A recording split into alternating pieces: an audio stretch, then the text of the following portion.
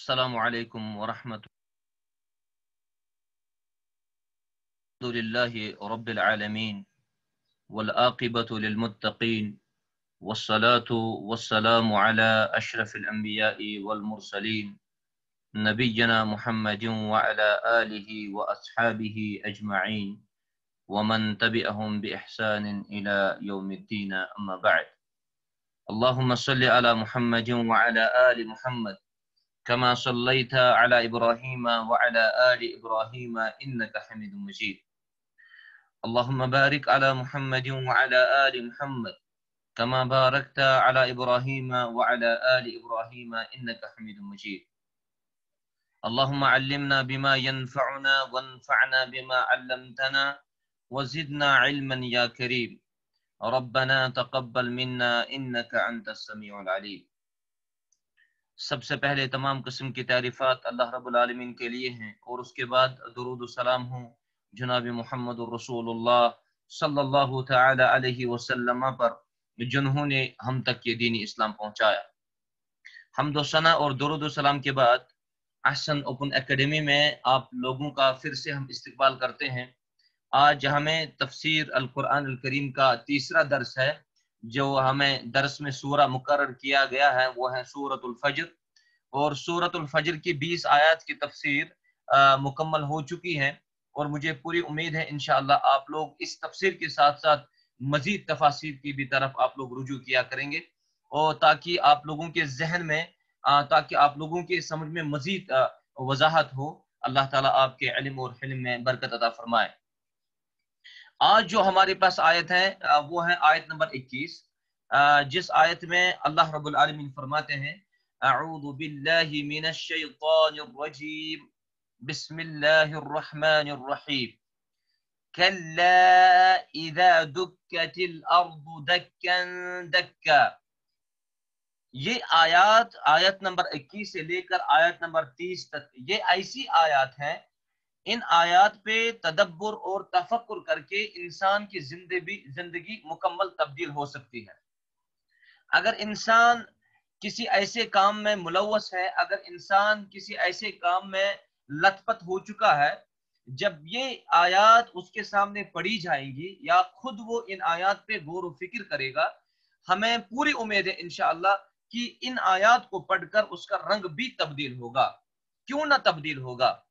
جب ان آیات کو رسول اللہ صلی اللہ علیہ وسلم نے تلاوت کی، جب ان آیات کو رسول اللہ صلی اللہ علیہ وسلم کے سامنے تلاوت کیا گیا، جیسے یہ آیت جو یہاں پہ ذکر کی گئی ہے، وَجِيءَ يَوْمَئِذٍ تو بہت سے اہل علم جو ہے، بہت سے محدثین جو ہیں، انہوں نے کہا کہ رسول اللہ صلی اللہ علیہ وسلم کے چہرے مبارک کا رنگ ہی تبدیل ہو گیا۔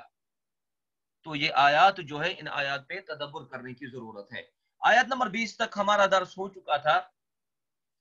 وَتَأْكُلُونَ التُّرَاثَ أَكْلًا لَمَّا وَتُحِبُّونَ الْمَالَ حُبًّا جَمًّا۔ اور مال کو جی بر کے عزیز رکھتے ہوں گے۔ لیکن اس کے بعد اللہ تعالیٰ فرماتے ہیں، كَلَّا إِذَا دُكَّتِ الْأَرْضُ دَكًّا دَكَّا۔ یقیناً جس وقت زمین کوٹ کوٹ کر برابر کر دی جائے گی یقیناً جس وقت زمین کوٹ کوٹ کر برابر کر دی جائے گی۔ سب سے پہلے آپ لوگ جو ہے خالی ان آیات کا ترجمہ دیکھیں گے، اس کے بعد ہم آگے ان کی تفسیر ذکر کریں گے۔ دکن کہتے ہیں کوٹ کوٹ کر برنا۔ دکن کہتے ہیں کوٹ کوٹ کر برنا۔ اس کے بعد اللہ رب اللہ رب العالمین کیا فرماتے ہیں؟ وَجَاءَ رَبُّكَ وَالْمَلَكُ صَفًّا صَفًّا۔ اور تیرا رب خود آ جائے گا۔ اور تیرا رب خود آ جائے گا۔ اور فرشتے صفے باندھ کر آ جائیں گے۔ یعنی یہ وہ دور ہے جب قیامت ہوگی۔ جب قیامت آ جائے گی تو یہ معاملات آئیں گے۔ زمین کو کوٹ کوٹ کر برابر کر دیا جائے گا اور رب خود آ جائے گا۔ ہمارا رب جو ہے وہ خود آ جائے گا۔ وجہ رب آپ کا رب آئے گا۔ یہاں پر مخاطب رسول اللہ صلی اللہ علیہ وسلم ہے والملک اور اس کے فرشتے صفن صفا، وہ صفے باندھ باندھ کر آ جائیں گے۔ اس کے بعد وجیء یومئذ بجہنم یومئذ یتذکر الانسان وانا له الذکر اور جس دن جہنم بھی لائی جائے گی، جس دن جہنم بھی لائی جائے گی، اس دن انسان کو سمجھ آئے گی، مگر آج اس کے سمجھنے کا فائدہ کہاں؟ یوم یتذکر الانسان، اس دن انسان کو عقل آ جائے گی۔ اس دن انسان کو سمجھ میں آ جائے گا۔ اس دن انسان اچھے سے سمجھے گا۔ وہ انا لہ الذکرا لیکن اللہ رب العالمین کیا فرماتے ہیں کہ وہ تو اس دن سنبھلنا چاہے گا۔ وہ اس دن اپنے آپ کو بدلنا چاہے گا۔ وہ اس دن اعمال کرنا چاہے گا۔ لیکن اس کی عمل کرنے کا کوئی فائدہ نہیں۔ اس کے سوچنے کا کوئی فائدہ نہیں۔ اس کے سمجھنے کا کوئی فائدہ نہیں۔ وجی ایوم بجہنم جب جہنم کو لایا جائے گا۔ جب جہنم لائی جائے گی۔ یوم اذن یتذکر الانسان اور اس دن انسان کو سمجھ آئے, آئے گی وَأَنَّ لَهُ الذِّكْرَ لیکن اس کی سمجھنے کا کوئی فائدہ اس وقت نہیں رہے گا۔ اس کے بعد اللہ رب العالمین فرماتے ہیں یقول یا لیتنی قدمت لحیاتی یقول وہ کہے گا یعنی بندہ کہے گا یا لیتنی کاش میں قدمت لحیاتی کاش کہ میں نے اپنی زندگی کے لیے کچھ پیشگی سامان کیا ہوتا۔ کاش میں نے اپنی زندگی کے لیے کچھ تیار کیا ہوتا۔ کاش میں نے اپنی زندگی کے لیے کچھ ذخیرہ رکھا ہوتا۔ کاش میں نے اپنی زندگی کے لیے کچھ بنایا ہوتا، لیکن کوئی موقع نہیں۔ اس وقت کوئی بھی موقع محل نہیں ہوگا کہ وہ اپنی زندگی کے لیے کچھ کر سکتا ہو۔ یہی ہماری لائف ہے، یہی ہماری زندگی ہے، یہی ہمارا وقت ہے۔ اس وقت کو انسان کو غنیمت سمجھنا چاہیے۔ اس کے بعد اللہ رب العالمین فرماتے ہیں، فَيَوْمَئِذٍ لَا يُعَذِّبُ عَذَابَهُ أَحَدٍ۔ بس آج اللہ کے عذاب جیسا عذاب کسی کا نہ ہوگا۔ سبحان اللہ فَيَوْمَئِذٍ لَا يُعَذِّبُ عَذَابَهُ أَحَدٍ۔ بس اس دن یعنی قیامت کے دن، اللہ کے عذاب جیسا عذاب کسی کا نہ ہوگا۔ اور اس کے بعد اللہ تعالیٰ فرماتے ہیں، وَلَا يُوثِقُ وَثَاقَهُ أَحَدٍ۔ نہ اس دن، نہ اس کی قید و بند جیسی کسی کی قید و بند ہوگی۔ نہ اس کی قید و بند جیسی کسی کی قید و بند ہوگی۔ جب ہم ان آیات پہ غور و فکر کرتے ہیں، تو یہاں پر آپ لوگ دیکھ سکتے ہیں سب سے پہلی جو ہم نے میں نے آیت پڑھی ہے یہاں پر اس صاحب تفسیر جو ہے، اس میں لکھتے ہیں، یا تمہارا عمل ایسا نہیں ہونا چاہیے جو مذکور ہوا۔ یعنی جو حلال طریقے سے یا حرام طریقے سے مال جمع کرتے ہیں، جن کو کوئی فکر نہیں ہے کہ حلال ہے، حرام ہے، جو یتیموں پہ ظلم کرتے ہیں، وہ ایسا عمل نہیں ہونا چاہیے۔ کیوں؟ کیونکہ ایک وقت آنے والا ہے۔ کیونکہ ایک وقت آنے والا ہے۔ ہرگز نہیں۔ جب زمین کوٹ کوٹ کر برابر کر دی جائے گی۔ یعنی زمین پر متواتر زلزلوں اور ضربوں سے اس کے پہاڑ ریزہ ریزہ ہو جائیں گے۔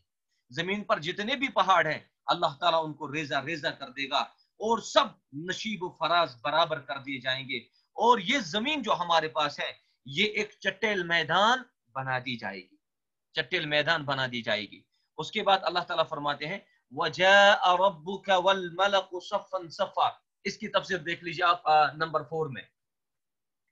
کہا جاتا ہے، یہاں پر کہا جاتا ہے کہ جب فرشتے قیامت والے دن آسمان سے نیچے اتریں گے، وجہ عرب کا والملک صفن صفا کی تفسیر میں کہا جاتا ہے، جب فرشتے قیامت والے دن آسمان سے نیچے اتریں گے تو ہر آسمان کے فرشتوں کی الگ الگ صف ہوگی۔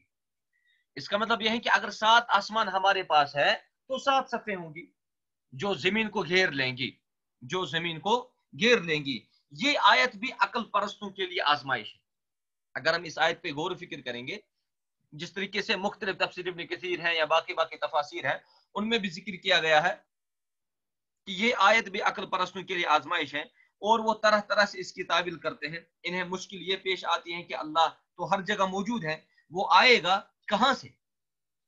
جو یہ سمجھتے ہیں کہ اللہ تعالیٰ ہر جگہ موجود ہے کہ تو آئے گا کہاں سے؟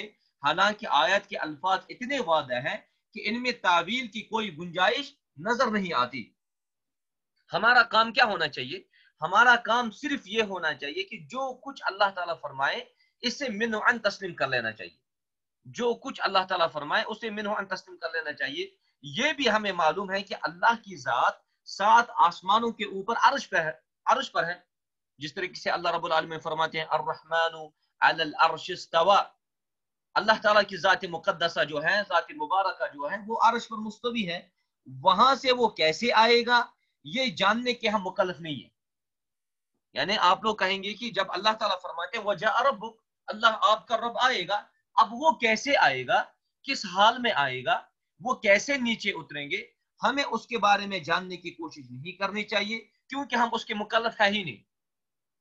ہم اس کے مکلف، اللہ تعالیٰ نے ہمیں اس کا مکلف نہیں بنایا کہ آپ پہلے جاننے کی کوشش کرو کہ میں کیسے آؤں، میں کس سواری پہ آؤں، میں کیسے نیچے اتروں۔ ہم اس کے مکلف نہیں ہیں۔ ہم کہیں گے کہ جیسے اس کی شان ہے، وہ ویسے ہی آئے گا۔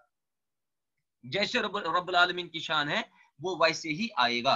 اور اس حال میں آئے گا کہ فرشتے صفے باندھے کتار در کتار اس کے ساتھ ہوں گے۔ یعنی جس طریقے سے اللہ تعالیٰ فرماتے ہیں وجہ ارب والملک صفن صفا۔ فرشتوں کی الگ الگ صفے ہوں گی، سات صفے ہوں گی۔ یہی وہ دن ہوگا جب تمہارے لوگوں سے تمہارے اعمال کی باز پرس ہوگی۔ یہاں پر مخاطب پیغمبر کریم صلی اللہ علیہ وسلم ہے تو پیغمبر کریم علیہ السلام کو رب کائنات فرماتے ہیں کہ آپ کے امتیوں کو اعمال کے متعلق باز پرس ہوگی۔ تو ہمارے اعمال کیا ہیں؟ آپ سبھی جو بھی یہ درس سن رہے ہیں، جو بھی طلبہ و طالبات ہیں احسن پور اکیڈمی میں، تو آپ لوگوں کو خود بھی پتا ہوگا کہ آپ لوگوں کے اعمال کیسے ہیں۔ جو بولنے والا ہے، بولنے والے کو خود پتا ہے کہ میرے اعمال کیسے تو ہمیں اپنے اعمال کی باز پرس ہوگی۔ ہمیں اپنے اعمال کے بارے میں پوچھا جائے گا اور قیامت کا دن آنے والا ہے تو اس پہ انسان کو ایمان ہونا چاہیے، یقین ہونا چاہیے۔ اس کے بعد رب العالمین فرماتے ہیں، جب قیامت آئے گی تو کیا ہوگا؟ اور رب کائنات فرماتے ہیں، وجيء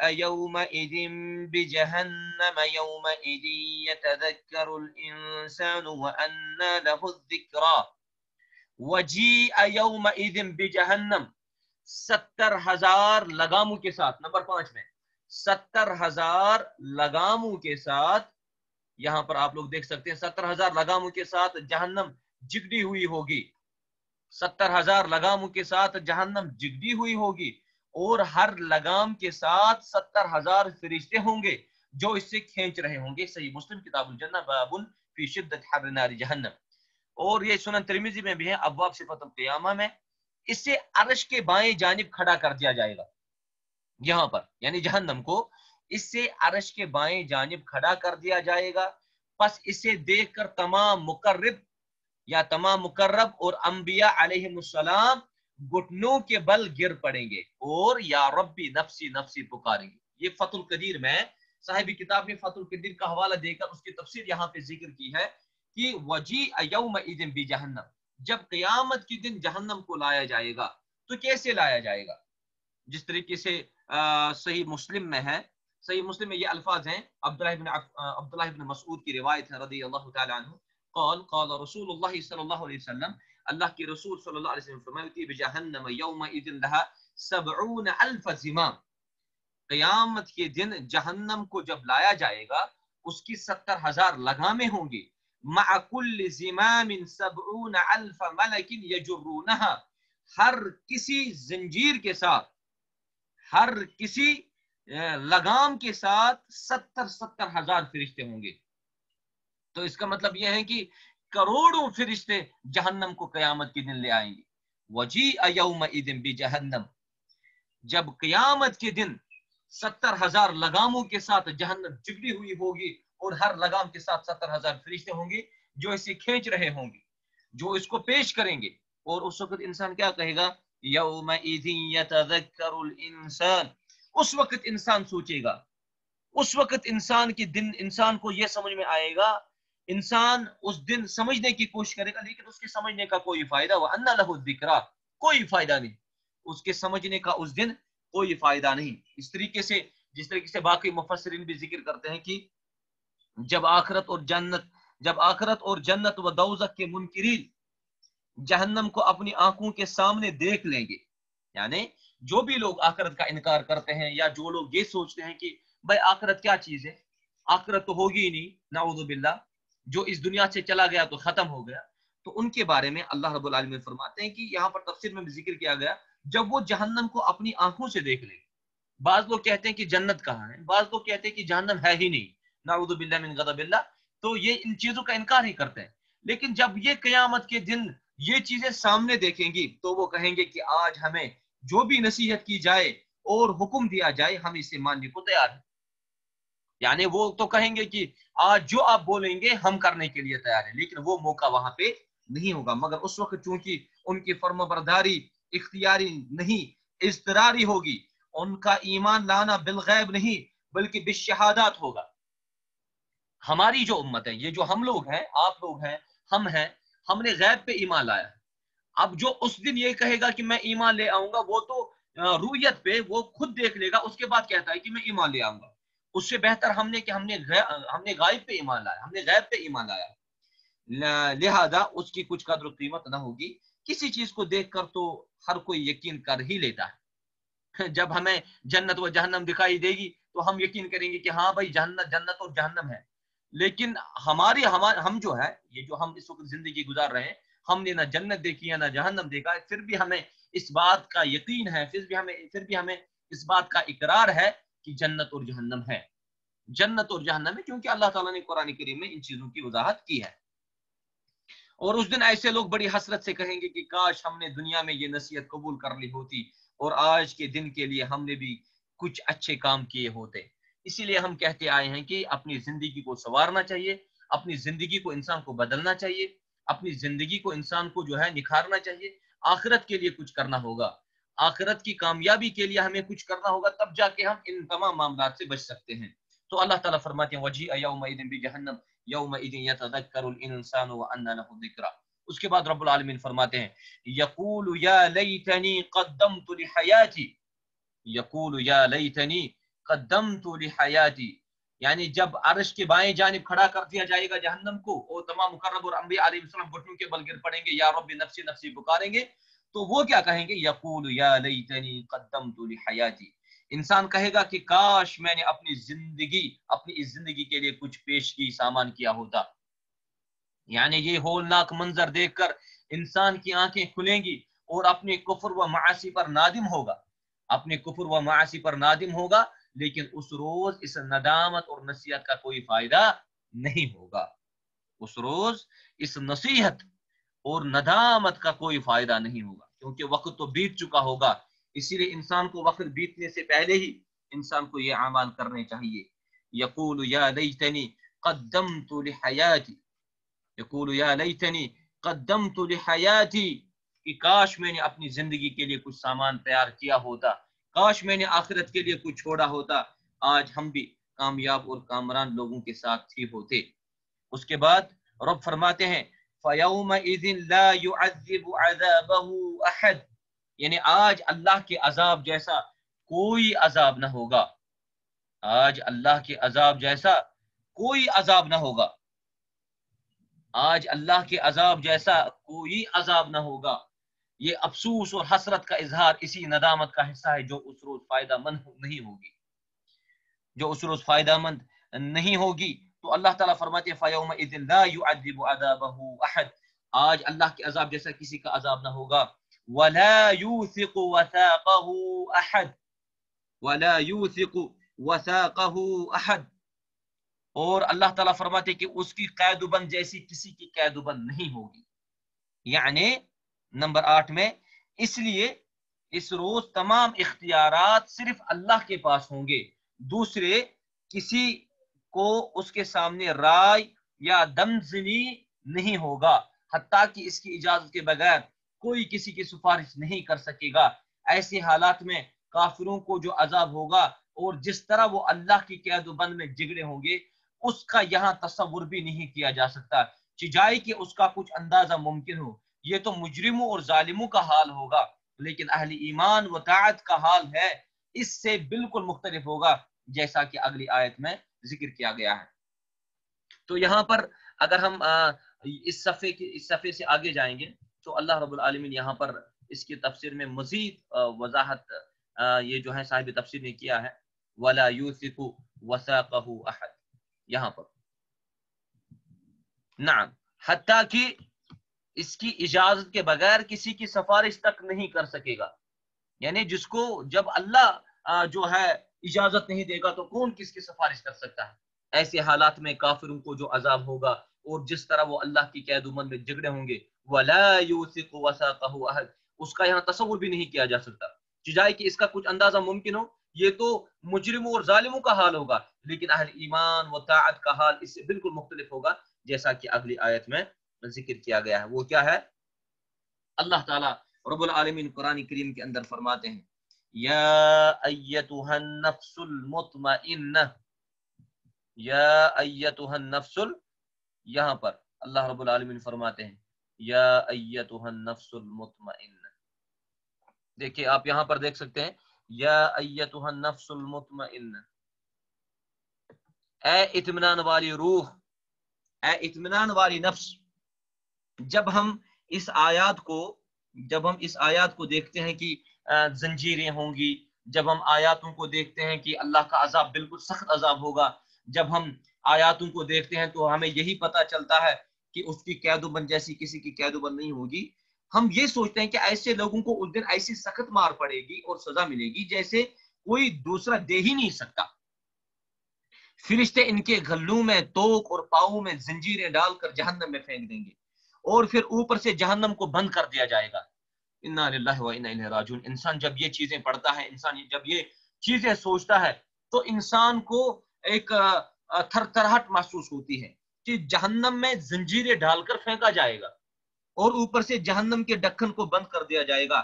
اس میں سانپ اور بچموں کے ڈسنے کا عذاب الگ الگ ہوگا فرشتوں کے مارنے اور ڈانٹنے کا الگ عذاب ہوگا۔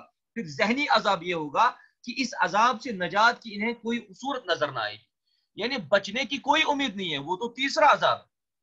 انسان جب کسی مصیبت میں گرفتار ہوتا ہے، انسان کے ذہن میں یہ امید وابستہ ہوتی ہے کہ چلو بھائی مصیبت دو منٹ کے لیے ہے پانچ منٹ کے لیے ہے دو دن کے لیے کل میں کامیاب ہو جاؤں گا کل میں مصیبت سے دور ہو جاؤں گا لیکن یہ ایسی مصیبت ہے جس مصیبت سے انسان دور نہیں ہوگا۔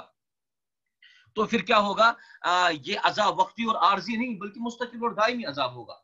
تو لیکن آ, مطمئن والی روح کو اللہ تعالیٰ فرمائے گا یا یا النفس المطمئنہ اے اطمینان والی روح ارجعی الى ربک راضیتا مرضیہ۔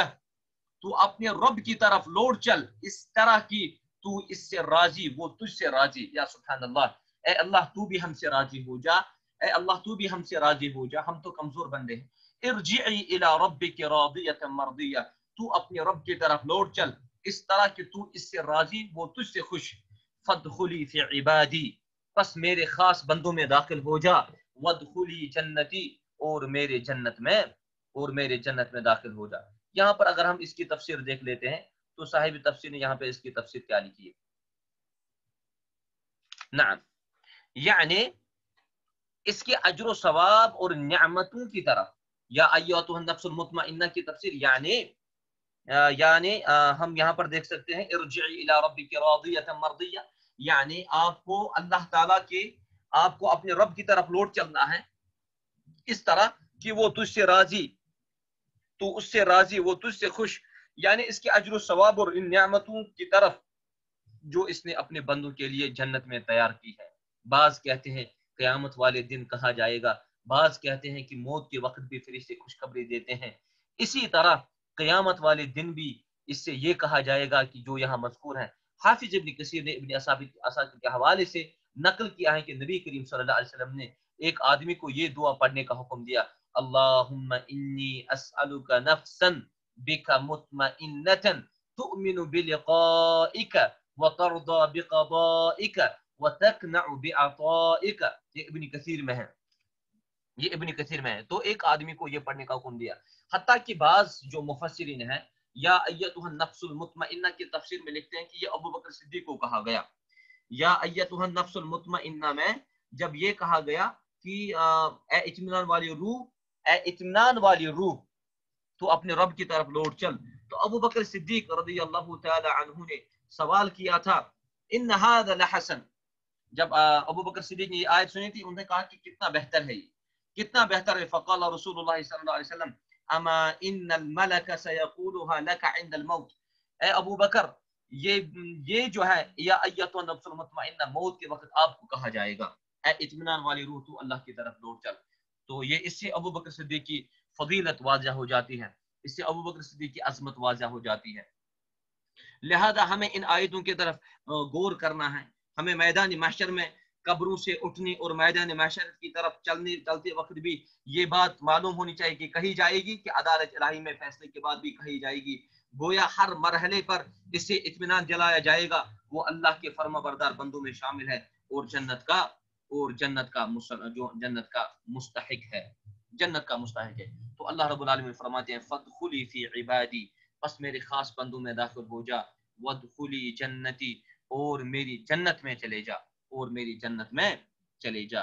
اللہ سے ہم یہی دعا کرتے ہیں کہ اللہ تعالی ہمیں بھی اور آپ لوگوں کو بھی جنت نصیب فرمائے۔ اللہ تعالیٰ آپ لوگوں کو بھی جو ہے عزت عطا فرمائے۔ اللہ تعالیٰ ہمیں بھی آخرت کو سمجھنے کی توفیق عطا فرمائے۔ اور ہمیں بھی، اور ہمیں بھی اس آیت پہ عمل کرنے کی توفیق عطا فرمائے، جو آیت رب کائنات نے بیان کی، یقول یا لیتنی قدمت لحیاتی، ہم ہم ان بندوں میں نہیں ہونے چاہیے کہ جو قیامت کے دن یہ کہیں گے کہ کاش ہم نے کچھ تیاری کی ہوتی، کاش ہم نے ان، اس دن کے لیے کچھ تیار کیا ہوتا۔ ہمیں ہمارے پاس ابھی بھی وقت موجود ہے، ہم ابھی بھی دنیا میں زندگی گزار رہے ہیں، ہمیں ابھی بھی یہ سوچنا چاہیے کہ ہمیں کس طریقے سے اپنے آپ کو بچانا ہوگا، ہمیں کس طریقے سے اپنے آپ کو قیامت کے دن بچانا ہوگا۔ لہذا آپ سبھی طلبہ و طالبات سے ہم استدا گزارش بھی کرتے ہیں کہ اپنے آپ کو سنبھالیے اپنے آپ کو آخرت کے لیے تیار کریں۔ پرپریشن ڈیز ہیں۔ یہ تو تیاری کے دن ہیں جو ہمیں اللہ تعالیٰ اس دنیا میں دیتے ہیں۔ ہم آخرت کی تیاری کریں، آخرت کے سمرنے میں لگ جائیں، آخرت کو بنانے میں لگ جائیں، اعمال صالحات میں جائیں۔ یتیموں کی مدد کیجیے اور فقراء، مساکین، اس کی مدد کیجیے اور بالخصوص تفسیر القرآن الکریم کے ساتھ وابستہ رہیں، قرآن کو پڑھیے قرآن کو سیکھیے سکھائیے، اور باقی جتنے بھی علوم ہیں، ان کو بھی آپ لوگ پڑھتے جائیے۔ حسن اپن اکیڈمی میں آپ لوگ ان چیزوں سے فیض فیض حاصل کرتے ہیں۔ ان چیزوں کا علم آپ لوگ حاصل کرتے ہیں، چاہے وہ لغہ ہو، چاہے وہ تفسیر ہو، چاہے وہ علوم الحدیث ہو، چاہے وہ علوم القرآن ہو، یا اصول الفقہ ہو، یا فقہ ہو یہ سارے علوم آپ لوگ پڑھتے ہیں۔ ان علوم کے ذریعے آپ لوگ اپنے اندر بھی انقلاب لا سکتے ہیں، اور تمام کائنات میں آپ لوگ جو ہیں پورے اپنے اپنے علاقوں میں، اپنے اپنے محلہ جات میں آپ لوگ جو ہیں، اسی آسن اوپن اکیڈمی کے ذریعے جب آپ لوگ اس کے ساتھ وابستہ رہیں گے تو ضرور آپ دنیا اور آخرت میں کامیابی حاصل کریں گے۔ لہٰذا اللہ تعالیٰ آپ سب کو سلامت رکھے اور آسن اوپن اکیڈمی کے ساتھ وابستہ رہیں۔ یہ علم کا منبع ہے، علم کا مرکز ہے۔ یہاں پر علماء آپ لوگوں کو سکھاتے پڑھاتے ہیں۔ اللہ تعالیٰ آپ سب کو سلامت رکھے اور سب سے زیادہ عمل کرنے کی توفیق عطا فرمائے۔ هذا ما عندي، وصلى الله تعالى على خير خلق محمد وعلى آله وأصحابه أجمعين. والسلام عليكم ورحمة الله وبركاته.